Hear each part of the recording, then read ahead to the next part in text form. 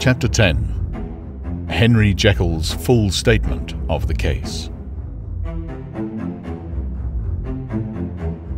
I was born in the year 18 uh, to a large fortune, endowed besides with excellent parts, inclined by nature to industry, fond of the respect of the wise and good among my fellow men, and thus, as might have been supposed, with every guarantee of an honourable and distinguished future.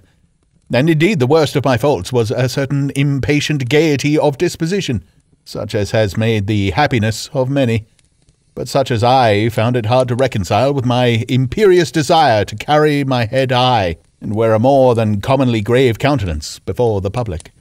Hence it came about that I concealed my pleasures, and that when I reached years of reflection and began to look round me and take stock of my progress and position in the world, I stood already committed to a profound duplicity of me. Many a man would have even blazoned such irregularities as I was guilty of, but from the high views that I had set before me, I regarded and hid them with an almost morbid sense of shame. It was thus rather the exacting nature of my aspirations than any particular degradation in my faults that made me what I was, and with even a deeper trench than in the majority of men. Severed in me those provinces of good and ill which divide and compound man's dual nature. In this case, I was driven to reflect deeply and inveterately on that hard law of life which lies at the root of religion and is one of the most plentiful springs of distress. Though so profound a double dealer, I was in no sense a hypocrite. Both sides of me were in dead earnest. I was no more myself when I laid aside restraint and plunged in shame than when I laboured in the eye of the day at the furtherance of knowledge, or the relief of sorrow and suffering. And it chanced that the direction of my scientific studies, which led wholly towards the mystic and the transcendental, reacted and shed a strong light on this consciousness of the perennial war among my members. With every day, and from both sides of my intelligence, the moral and the intellectual, I thus drew steadily nearer to that truth by which partial discovery I had been doomed to such a dreadful shipwreck, that man is not truly one, but truly two. I say two because the state of my own knowledge does not pass beyond that point.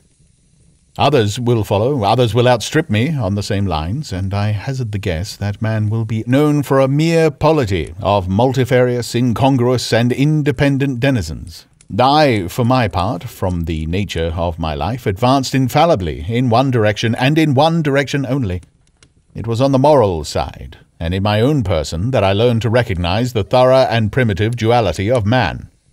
I saw that of the two natures that contended in the field of my consciousness, even if I could rightly be said to be either, it was only because I was radically both. And from an early date, even before the course of my scientific discoveries had begun to suggest the most naked possibility of such a miracle, I had learned to dwell with pleasure, as a beloved daydream, on the thought of the separation of these elements. If each, I told myself, could be housed in separate identities, life would be relieved of all that was unbearable. The unjust might go his way, delivered from the aspirations and remorse of his more upright twin, and the just could walk steadfastly and securely on his upward path, doing the good things in which he found his pleasure and no longer exposed to disgrace and penitence by the hands of this extraneous evil. It was the curse of mankind that these incongruous faggots were thus bound together, that in the agonized womb of consciousness these polar twins should be continuously struggling. How, then, were they dissociated? I was so far in my reflections when, as I have said, a side light began to shine upon the subject from the laboratory table. I began to perceive more deeply than it has ever yet been stated the trembling immateriality, the mist like transience of this seemingly so solid body in which we walk attired. Certain agents I found to have the power to shake and pluck back that fleshly vestment, even as a wind might toss the curtains of a pavilion. For two good reasons, I will not enter deeply into this scientific branch of my confession. First, because I have been made to learn that the doom and burthen of our life is bound forever on man's shoulders, and when the attempt is made to cast it off, it but returns upon us with more unfamiliar and more awful pressure. Second, because, as my narrative will make, alas, too evident, my discoveries were incomplete. Enough, then, that I not only recognize my natural body from the mere aura and effulgence of certain of the powers that made up my spirit, but managed to compound a drug by which these powers should be dethroned from their supremacy, and a second form and countenance substituted, none the less natural to me because they were the expression and bore the stamp of lower elements in my soul. I hesitated long before I put this theory to the test of practice. I knew well that I risked death, for any drug that so potently controlled and shook the very fortress of identity might, by the least scruple of an overdose, or at the least importunity in the moment of exhibition, utterly blot out that immaterial tabernacle which I looked to it to change. But the temptation of a discovery so singular and profound at last overcame the suggestions of alarm. I had long since prepared my tincture I purchased at once from a firm of wholesale chemists a large quantity of a particular salt, which I knew, from my experiments, to be the last ingredient required. And late one accursed night I compounded the elements, watched them boil and smoke together in the glass, and when the ebullition had subsided, with a strong glow of courage, drank off the potion. The most racking pains succeeded. A grinding in the bones, deadly nausea, and a horror of the spirit that cannot be exceeded at the hour of birth or death. Then these agonies began swiftly to subside, and I came to myself as if out of a great sickness. There was something strange in my sensations, something indescribably new, and from its very novelty, incredibly sweet. I felt younger, lighter, happier in body. Within, I was conscious of a heady recklessness, a current of disordered sensual images running like a mill race in my fancy, a solution of the bonds of obligation, an unknown but not an innocent freedom of the soul. I knew myself at the first breath of this new life to be more wicked tenfold more wicked, sold a slave to my original evil. And the thought in that moment braced and delighted me like wine. I stretched out my hands, exulting in the freshness of these sensations. And in the act, I was suddenly aware that I had lost my stature. There was no mirror at that date in my room. That which stands beside me as I write, I brought there later on for the very purpose of these transformations. The night, however, was far gone into the morning. The morning, black as it was, was nearly ripe for the conception of the day. The inmates of my house were locked in the most rigorous hours of slumber, and I determined, flushed as I was with hope and triumph, to venture in my new shape as far as to my bedroom. I crossed the yard, wherein the constellations looked down upon me. I could have thought with wonder the first creature of that sort of their unsleeping vigilance had yet disclosed to them. I stole through the corridors, a stranger in my own house. In coming to my room, I saw for the first time the appearance of Edward Hyde. I must here speak by theory alone, saying not that which I know, but that which I suppose to be most probable. The evil side of my nature, to which I had now transferred the stamping efficacy, was less robust and less developed than the good which I had just deposed. Again, in the course of my life, which had been, after all, nine tenths a life of effort, virtue, and control, it had been much less exercised and much less exhausted and hence, as I think it came about, that Edward Hyde was so much smaller, slighter, and younger than Henry Jekyll. Even as good shone upon the countenance of the one, evil was written broadly and plainly on the face of the other. Evil, besides, which I must still believe to be the lethal side of man, had left on that body an imprint of deformity and decay. And yet, when I looked upon that ugly idol in the glass, I was conscious of no repugnance, rather of a leap of welcome. This, too, was myself. It seemed natural and human. In my eyes, it bore a livelier image of the spirit. It seemed more express and single than the imperfect and divided countenance I had been hitherto accustomed to call mine. And in so far, I was doubtlessly right. I have observed that when I wore the semblance of Edward Hyde, none could come near me at first without a visible misgiving of the flesh. This, as I take it, was because all human beings as we meet them are commingled out of good and evil, and Edward Hyde alone in the ranks of mankind was pure evil. I lingered but a moment at the mirror. The second and conclusive experiment had yet to be attempted. It yet remained to be seen if I had lost my identity beyond redemption and must flee before daylight from a house that was no longer mine and hurrying back to my cabinet, I once more prepared and drank the cup.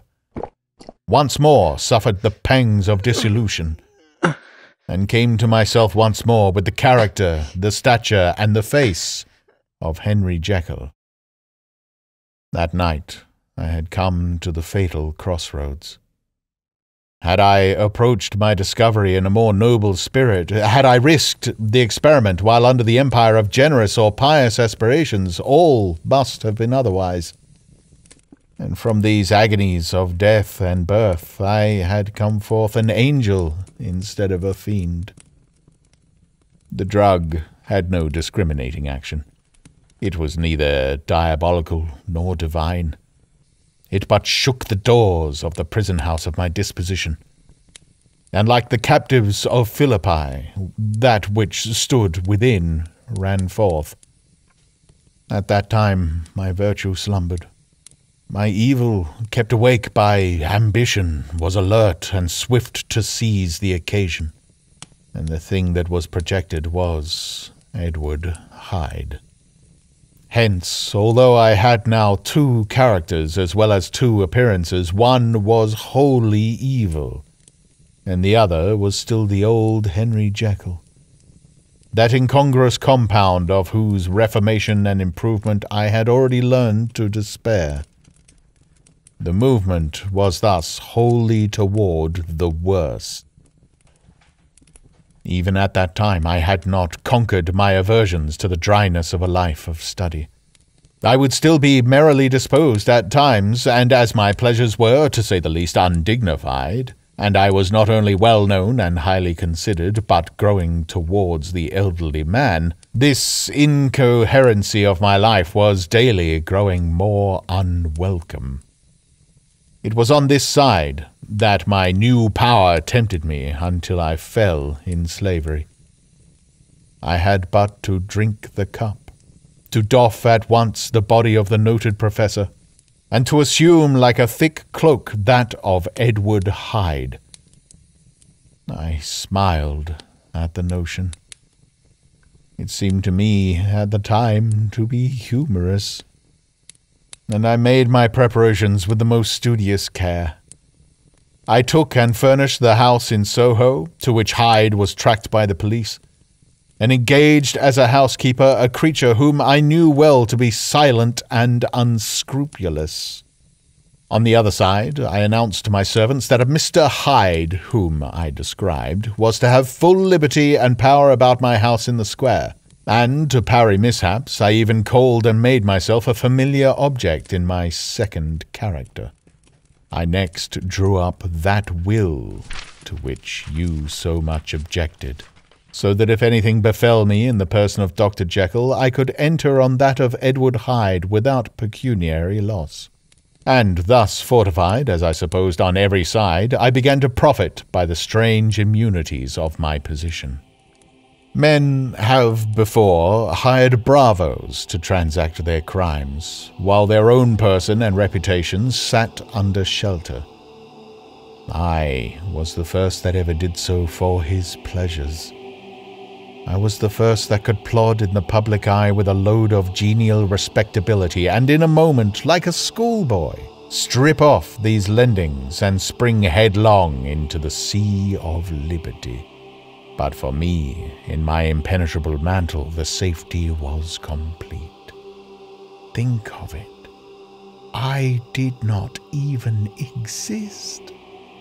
Let me but escape into my laboratory door, give me but a second or two to mix and swallow the draught that I had always standing ready, and whatever he had done, Edward Hyde would pass away like the stain of breath upon a mirror and there in his stead, quietly at home, trimming the midnight lamp in his study. A man who could afford to laugh at suspicion would be Henry Jekyll.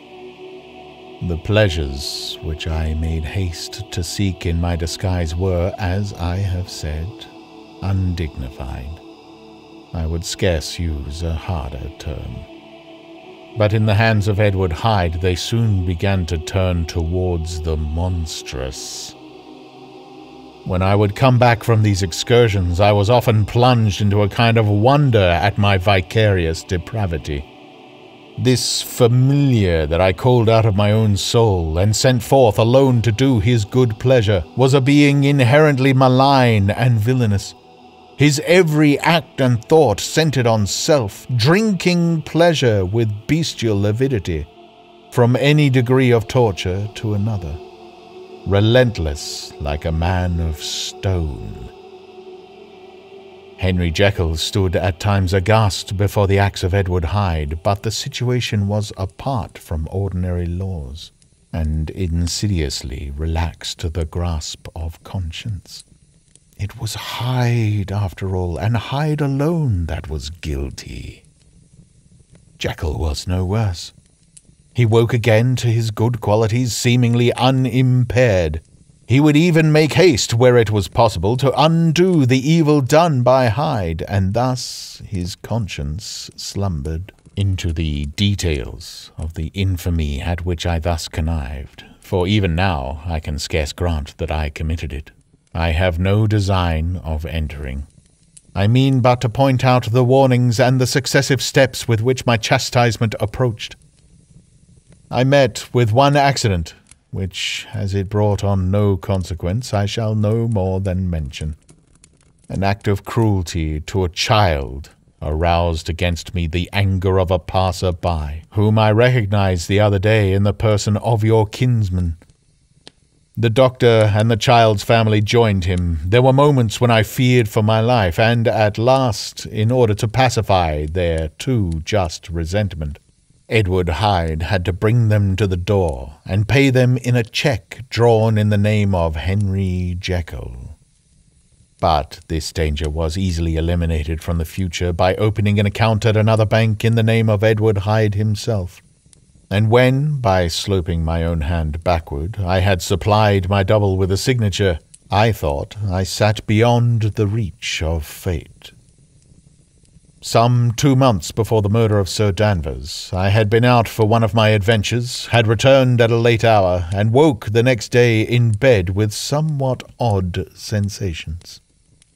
It was in vain I looked about me in vain I saw the decent furniture and tall proportions of my room in the square. In vain that I recognized the pattern of the bed curtains and the design of the mahogany frame. Something still kept insisting that I was not where I was, that I had not wakened where I seemed to be, but in the little room in Soho, where I was accustomed to sleep in the body of Edward Hyde. I smiled to myself and in my psychological way began lazily to inquire into the elements of this illusion, occasionally, even as I did so, dropping back into a comfortable morning doze. I was still so engaged when, in one of my more wakeful moments, my eyes fell upon my hand. Now, the hand of Henry Jekyll, as you have often remarked, was professional in shape and size. It was large, firm, white, and comely.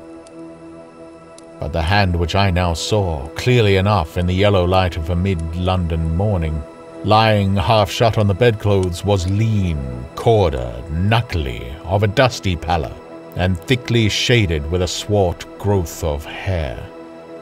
It was the hand of Edward Hyde.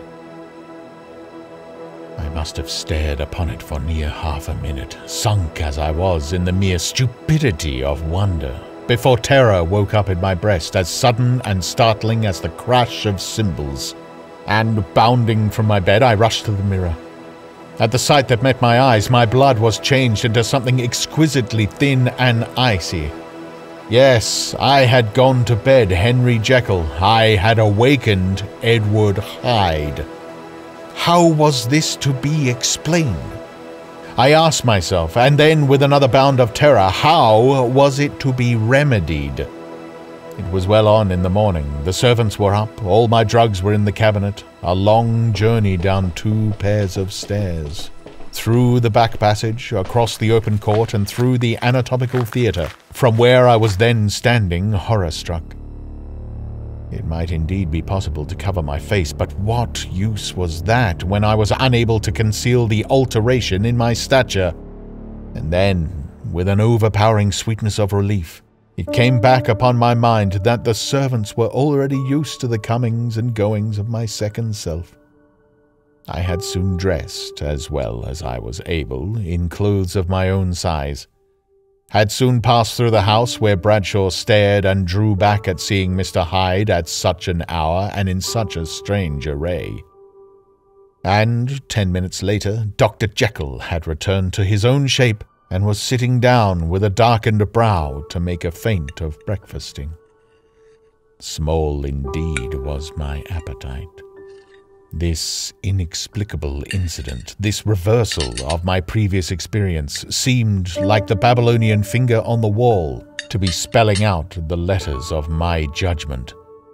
And I began to reflect more seriously than ever before on the issues and possibilities of my double existence. That part of me which I had the power of projecting had lately been much exercised and nourished it had seemed to me of late that though the body of Edward Hyde had grown in stature, as though, when I wore that form, I were conscious of a more generous tide of blood, and I began to spy a danger that, if this were much prolonged, the balance of my nature might be permanently overthrown. The power of voluntary change be forfeited, and the character of Edward Hyde become irrevocably mine. The power of the drug had not been always equally displayed. Once, very early in my career, it had totally failed me. Since then, I had been obliged on more than one occasion to double, and once, with infinite risk of death, to treble the amount, and these rare uncertainties had cast hitherto the sole shadow on my contentment. Now, however, and in the light of that morning's accident, I was led to remark that whereas in the beginning the difficulty had been to throw off the body of Jekyll, it had of late gradually but decidedly transferred itself to the other side. All things, therefore, seemed to point to this that I was slowly losing hold of my original and better self, and becoming slowly incorporated with my second and worse. Between these two, I now felt I had to choose.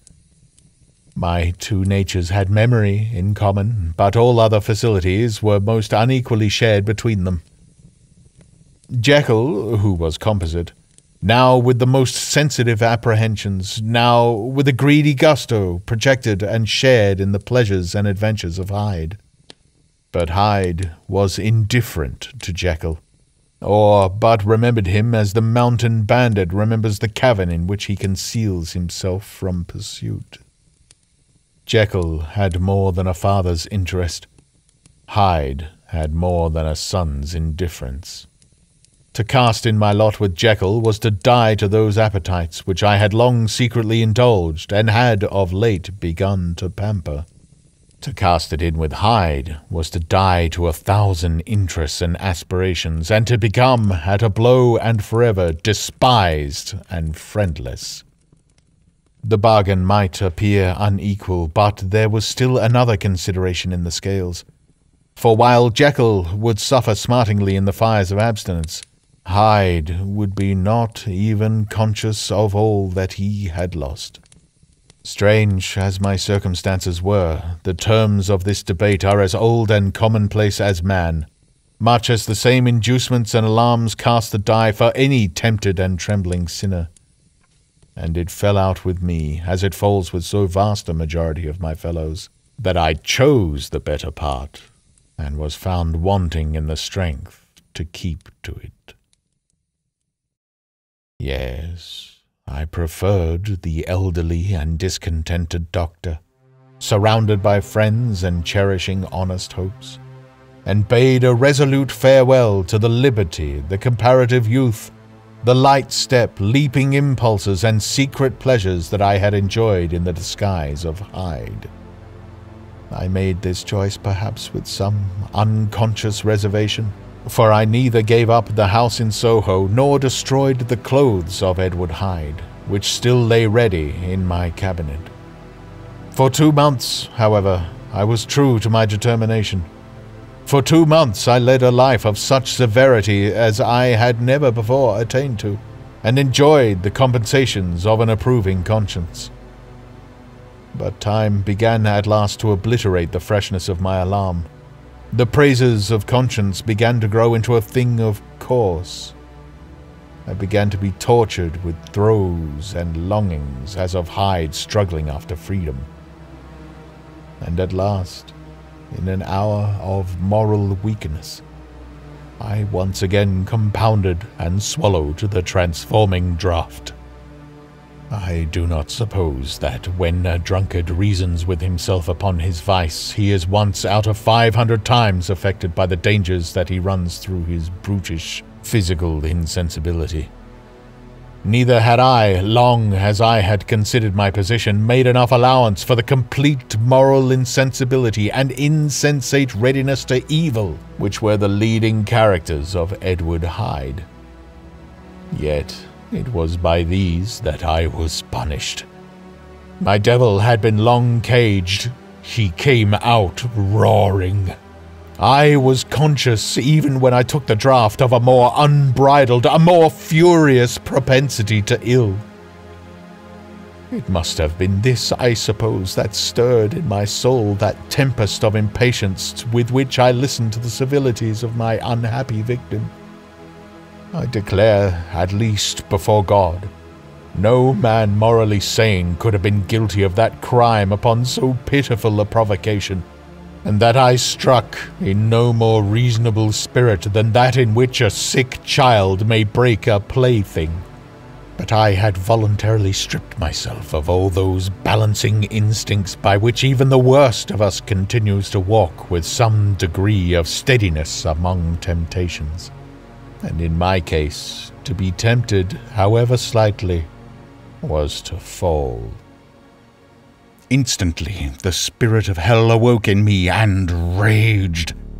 With a transport of glee, I mauled the unresisting body, tasting delight from every blow, and it was not till weariness had begun to succeed that I was suddenly, in the top fit of my delirium, struck through the heart by a cold thrill of terror. A mist dispersed. I saw my life to be forfeit and fled from the scene of these excesses. At once glorying and trembling, my lust of evil gratified and stimulated, my love of life screwed to the topmost peg. I ran to the house in Soho and, to make assurance doubly sure, destroyed my papers. Thence I set out through the lamplit streets in the same divided ecstasy of mind, gloating on my crime, light-headedly devising others in the future, and yet still hastening and still hearkening in my wake for the steps of the avenger. Hyde had a song upon his lips as he compounded the draught, and as he drank it, pledged the dead man. The pangs of transformation had not done tearing him before Henry Jekyll, with streaming tears of gratitude and remorse, had fallen upon his knees and lifted his clasped hands to God. The veil of self indulgence was rent from head to foot. I saw my life as a whole. I followed it up from the days of childhood when I had walked with my father's hand, and through the self denying toils of my professional life, to arrive again and again with the same sense of unreality at the damned horrors of the evening. I could have screamed aloud. I sought with tears and prayers to smother down the crowd of hideous images and sounds with which my memory swarmed against me. And still, between the petitions, the ugly face of my iniquity stared into my soul. As the acuteness of this remorse began to die away, it was succeeded by a sense of joy. The problem of my conduct was solved. Hyde was thenceforth impossible, whether I would or not. I was now confined to the better part of my existence, and oh, how I rejoiced to think of it. With what willing humility I embraced anew the restrictions of natural life with what sincere renunciation I locked the door by which I had so often gone and come, and ground the key under my heel.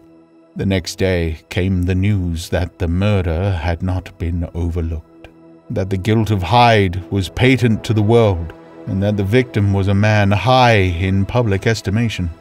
It was not only a crime, it had been a tragic folly. I think I was glad to know it. I think I was glad to have my better impulses thus buttressed and guarded by the terrors of the scaffold.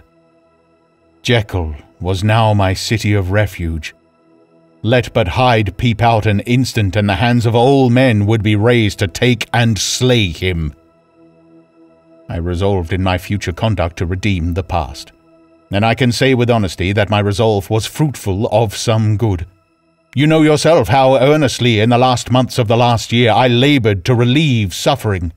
You know that much was done for others, and that the days passed quietly, almost happily for myself.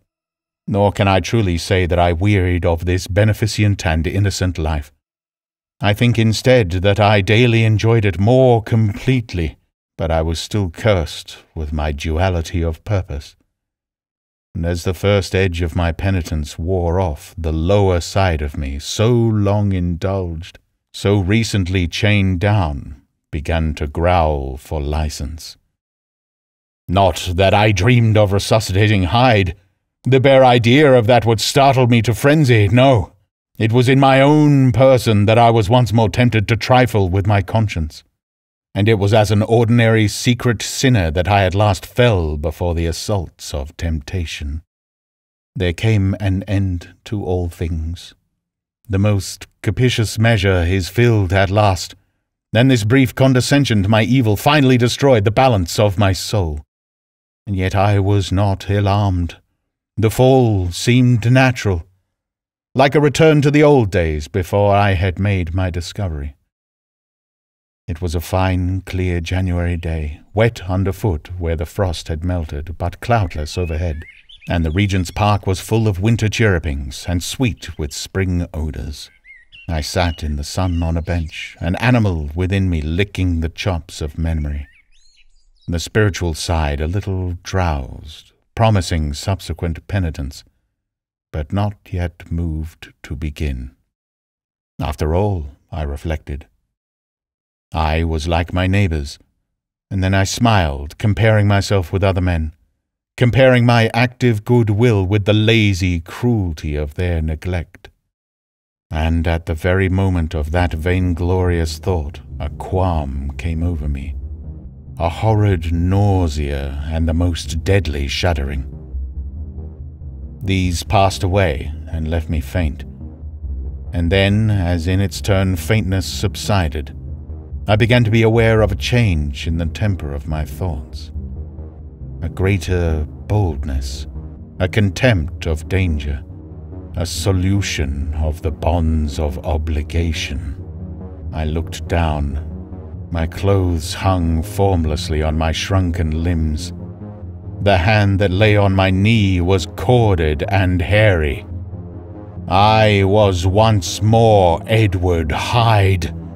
A moment before, I had been safe of all men's respect, wealthy, beloved, the cloth laying for me in the dining room at home, and now I was the common quarry of mankind. Hunted, houseless, unknown murderer, thrall to the gallows. My reason wavered, but it did not fail me utterly. I have more than once observed that in my second character my faculties seemed sharpened to a point, and my spirits more tensely elastic. Thus it came about that where Jekyll perhaps might have succumbed, Hyde rose to the importance of the moment. My drugs were in one of the presses of my cabinet. How was I to reach them? That was the problem that, crushing my temples in my hands, I set myself to solve. The laboratory door I had closed.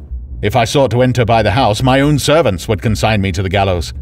I saw I must employ another hand and thought of Lanyon. How was he to be reached? How persuaded? Supposing that I escaped capture in the streets, how was I to make my way into his presence? And how should I, an unknown and displeasing visitor, prevail on the famous physician to rifle the study of his colleague, Dr. Jekyll? Then I remembered that of my original character one part remained to me. I could write my own hand. And once I had conceived that kindling spark, the way that I must follow became lighted up from end to end. Thereupon I arranged my clothes as best I could, and summoning a passing hansom, drove to a hotel in Portland Street, the name of which I chanced to remember. At my appearance, which was indeed comical enough, however tragic a fate these garments covered, the driver could not conceal his mirth. I gnashed my teeth upon him with a gust of devilish fury, and the smile withered from his face.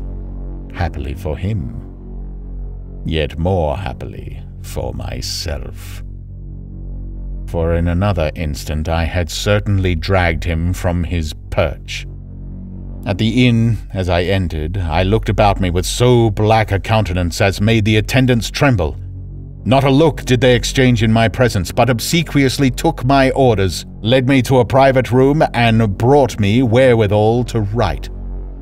Hyde, in danger of his life, was a creature new to me, shaken with inordinate anger, strung to the pitch of murder, lusting to inflict pain. Yet the creature was astute, mastered his fury with a great effort of the will, composed his two important letters, one to Lanyon and one to Poole, and that he might receive actual evidence of their being posted, sent them out with directions that they should be registered. Thenceforward he sat all day over the fire in the private rooms, gnawing his nails. Then he dined, sitting alone with his fears, the waiter visibly quailing before his eyes. And thence, when the night was fully come, he set forth in the corner of a closed cab, and was driven to and fro about the streets of the city. He, I say, I cannot say I. That child of hell had nothing human. Nothing lived in him but fear and hatred. And when, at last, thinking the driver had begun to grow suspicious, he discharged the cab and ventured on foot, attired in his misfitting clothes, an object marked out for observation into the midst of the nocturnal passengers, these two base passions raged within him like a tempest. He walked fast, hunted by his fears, chattering to himself, skulking through the less frequented thoroughfares, counting the minutes that still divided him from midnight. Once a woman spoke to him, offering, I think, a box of lights. He smote her in the face, and she fled. When I came to myself at Lanyon's, the horror of my old friend perhaps affected me somewhat. I do not know. It was at least but a drop in the sea to the abhorrence with which I looked back upon these horrors. A change had come over me. It was no longer the fear of the gallows, it was the horror of being Hyde that racked me. I received Lanyon's condemnation partly in a dream, It was partly in a dream that I came home to my own house and got into bed. I slept after the prostration of the day with a stringent and profound slumber, which not even the nightmares that wrung me could avail to break. I awoke in the morning, shaken, weakened, but refreshed. I still hated and feared the thought of the brute that slept within me. And I had not, of course, forgotten the appalling dangers of the day before, but I was once more at home, in my house and close to my drugs, and gratitude for my escape shone so strong in my soul that it almost rivaled the brightness of hope. I was stepping leisurely across the court after breakfast, drinking the chill of the air with pleasure, when I was seized again with those indescribable sensations that heralded the change, and I had but the time to gain the shelter of my cabinet before I was once again raging and freezing with the passions of Hyde. It took, on this occasion, a double dose to recall me to myself, and alas, six hours after, as I sat looking sadly in the fire, the pangs returned, and the drug had to be re-administered. In short, from that day forth it seemed only by a great effort as of gymnastics, and only under the immediate stimulation of the drug, that I was able to wear the countenance of Jekyll. At all hours of the day and night I would be taken with a premonitory shudder. Above all, if I slept or even dozed for a moment in my chair, it was always as Hyde that I awakened. Under the strain of this continually impending doom, and by the sleeplessness to which I now condemned myself, I, even beyond what I had thought possible to man, I became, in my own person, a creature eaten up and emptied by fever, languidly weak both in body and mind, and solely occupied by one thought the horror of my other self. But when I slept, or when the virtue of the medicine wore off, I would leap almost without transition, for the pangs of transformation grew daily less marked into the possession of a fancy brimming with images of terror, a soul boiling with causeless hatreds, and a body that seemed not strong enough to contain the raging energies of life. The powers of Hyde seemed to have grown with the sickliness of Jekyll, and certainly the hate that now divided them was equal on each side. With Jekyll, it was a thing of vital instinct he had now seen the full deformity of that creature that shared with him some of the phenomena of consciousness, and was co-heir with him to death. And beyond these links of community, which in themselves made the most poignant part of his distress, he thought of Hyde, for all his energy of life, as something not only hellish, but inorganic. This was the shocking thing that the slime of the pit seemed to utter cries and voices, that the amorphous dust gesticulated and sinned, that what was dead and had no shape should usurp the offices of life. And this again, that the insurgent horror was knit to him closer than a wife, closer than an eye, lay caged in his flesh where he heard it mutter and felt it struggle to be born, and at every hour of weakness and in the confidence of slumber prevailed against him and opposed him out of life. The hatred of Hyde for Jekyll was of a different order.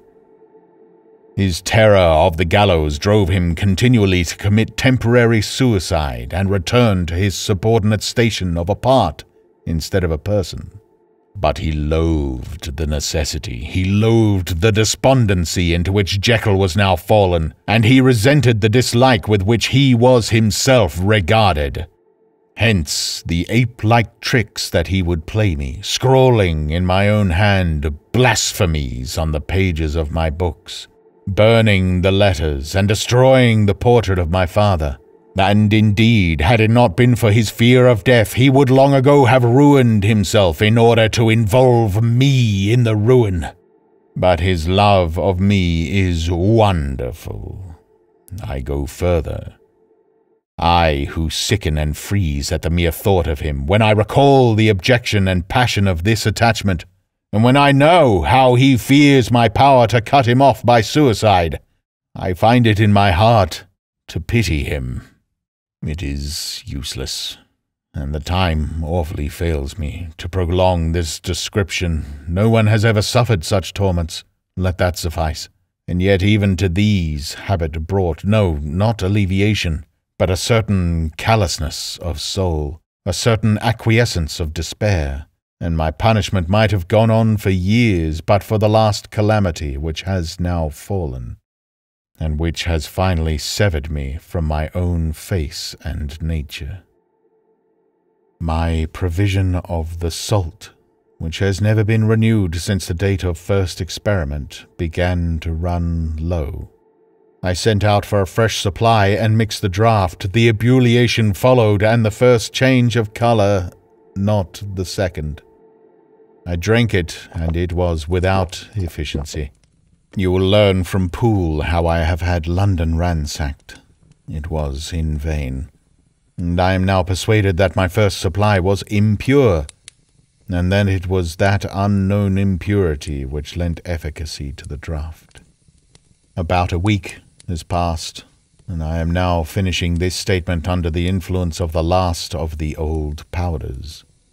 This, then, is the last time, short of a miracle, that Henry Jekyll can think his own thoughts or see his own face.